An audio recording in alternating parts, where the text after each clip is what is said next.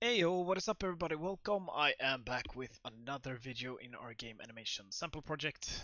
Uh, let's just keep working on it. I think it's high time for us to start with the NPC stuff. Uh, this should be fine to follow even if you're jumping into the videos here and haven't followed any of the earlier videos. Uh, I would highly advise anyone uh, that jumps in here to watch all of the rest of the videos just to get the basics of stuff that we have set up but for the for the NPC specifically it should be fine to just start from here as well.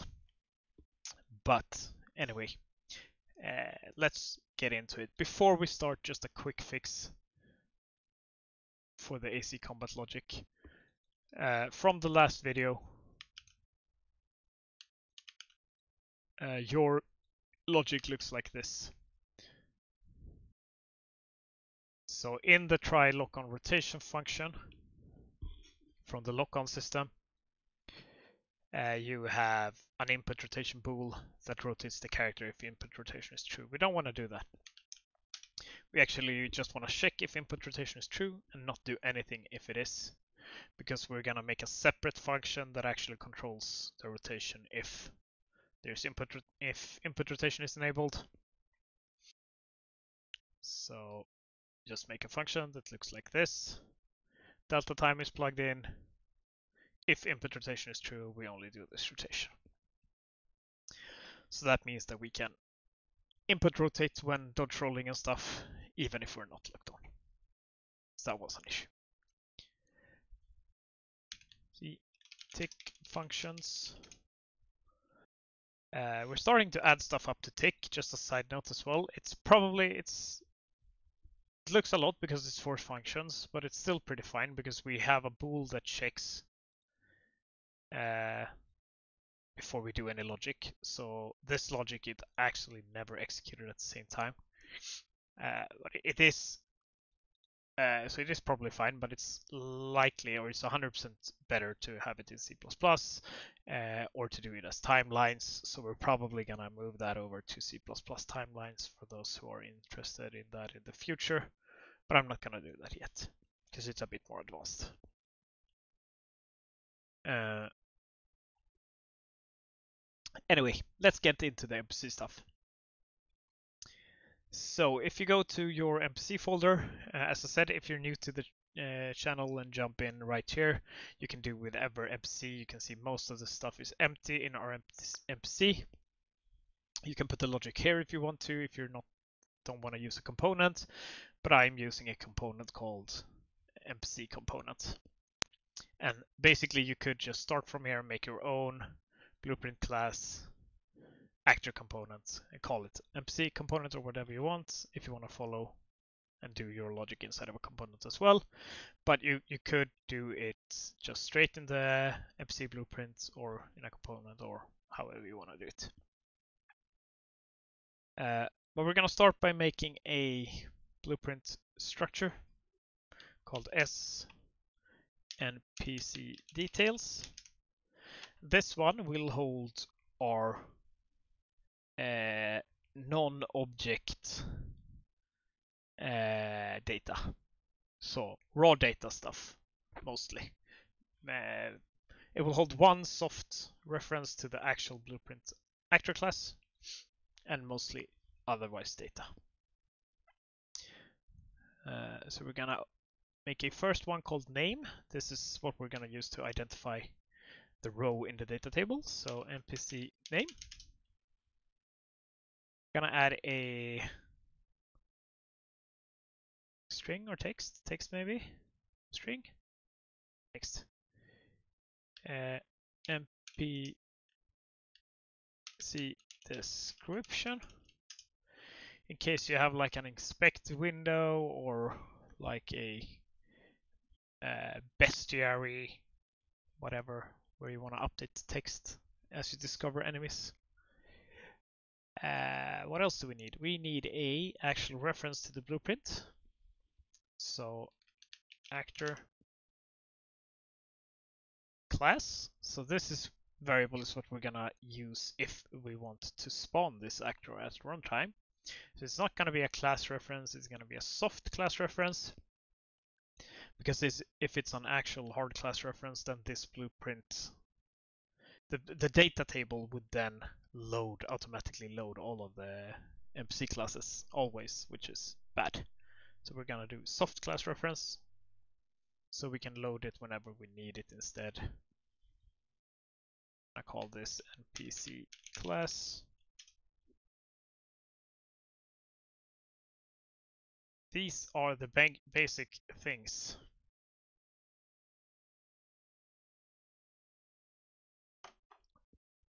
Uh, then we want we this is where we want like different behavior variables and maybe uh, stats like HP, armor, and stuff like that. Uh, but we're gonna start off like this.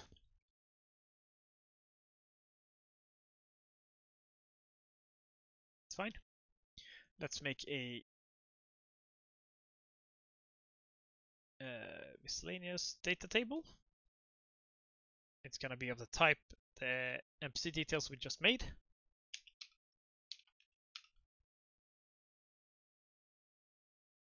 Call it DT NPC details. Open it up. Gonna add a new row. So the first row in this data table will be our master NPC class. So master NPC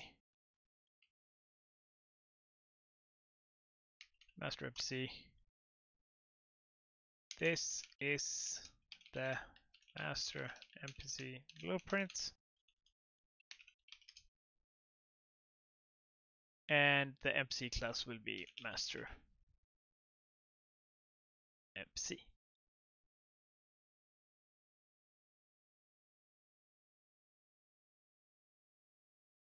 Perfect. So this is where you can add your logic inside of the NPC or in the component or whatever. I'm gonna do it in the component. So on begin play, we're gonna do get data table row. NPC details. Uh, I already have the variable I see, but we're gonna create a new variable called npc name. And this is the actual name we're gonna use to find uh, the correct row in the data table. So by default, this will be master npc. I'm gonna plug it in here. We're gonna promote that to a variable, so we have a stored variable for the details.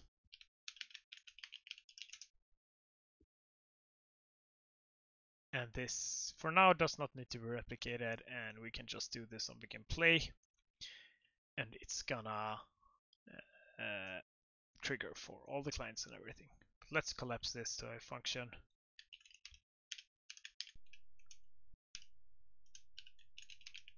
Just to keep it clean.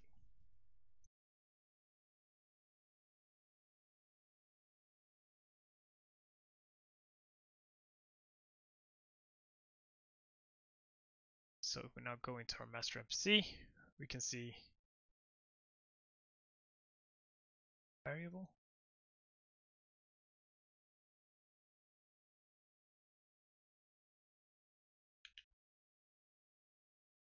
uh, we can see we have this is a little bit annoying though actually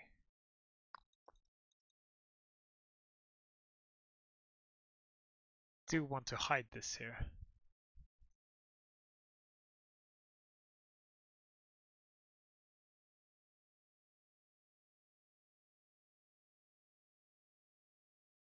There we go. Okay.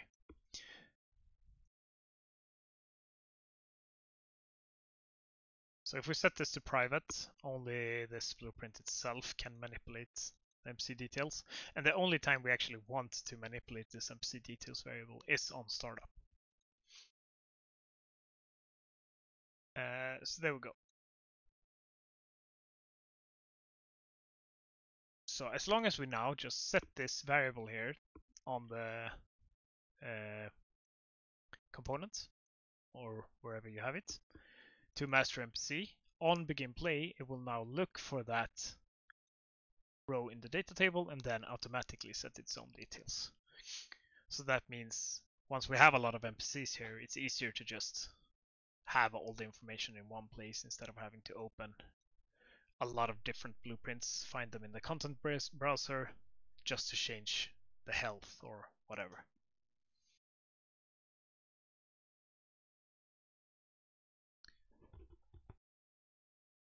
Um,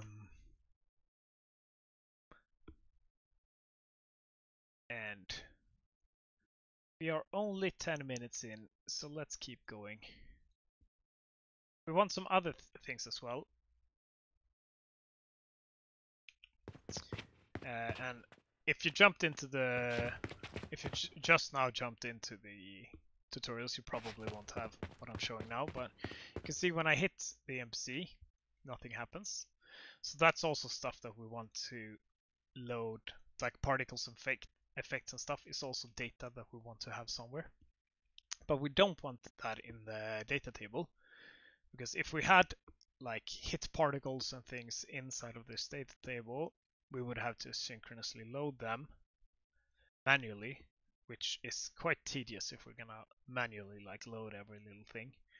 So hard reference stuff is gonna be stored inside of the actual NPC as variables instead.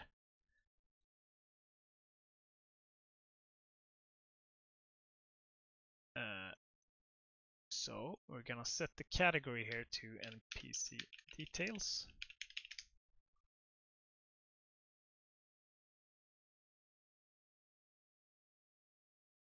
Is also gonna go under NPC details, and that's because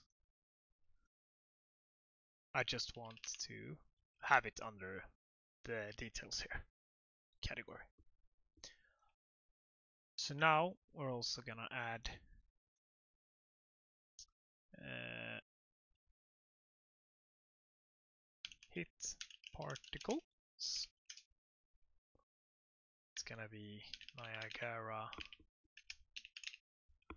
system. Gonna be an array. Gonna be in the see details. We also want an array of, no actually, sound. We want a sound cue. That is hit sound. And you notice I'm not using soft reference here because in this case since we're asynchronously gonna load like when we spawn this uh, master NPC blueprint, or when we spawn an NPC, we're gonna load that NPC in, and if these are not soft references, they will be loaded with the blueprint actor instead, with the NPC actor at the same time. So that's perfect. So we don't manually have to load all of the things. Hit sound. Uh, we also want things like uh, can do any montage here. Uh, also want things like attack animations, for instance. So you see the the variables that actually require a reference to some some other assets are gonna be inside of the actual blueprint, whereas the raw data will be in the data table. Uh, and just to illustrate what I mean, is inside of the NPC now, uh, can do hit particles,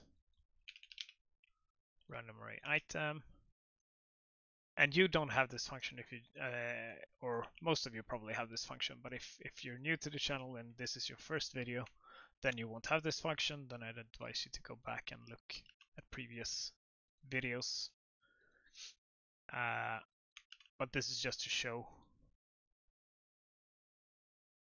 how we get the sound and stuff back.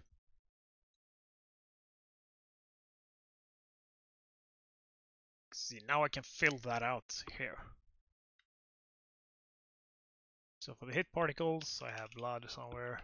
Can't remember what it's called. Maybe I removed it actually.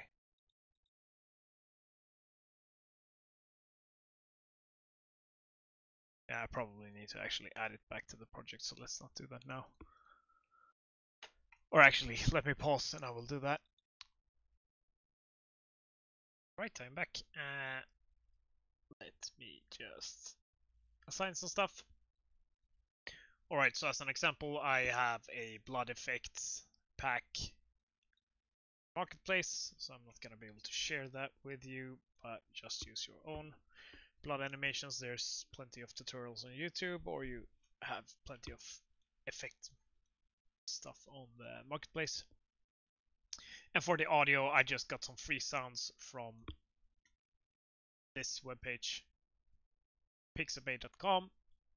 They are licensed to be shared, so I can share these sounds with you. I just got some hit effects there and quickly threw them together into a sound cue. Mixed them up a bit. So we have this hit impact. Uh, oh, hopefully this wasn't too loud. Uh, and I'm gonna assign that here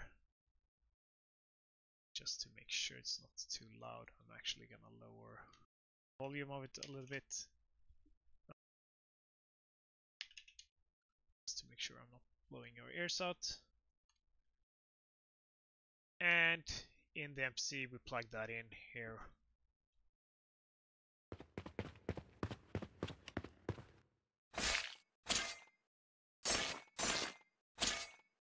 not the best sounds.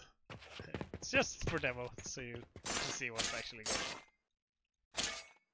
Probably get some of my own sounds, just to make it sound a little bit nicer.